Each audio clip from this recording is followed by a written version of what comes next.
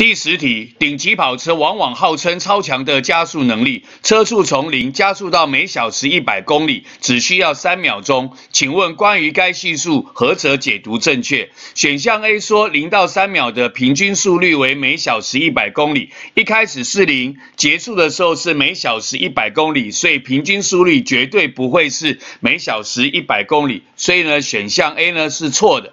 那么选项 B 零到三秒的加速度为。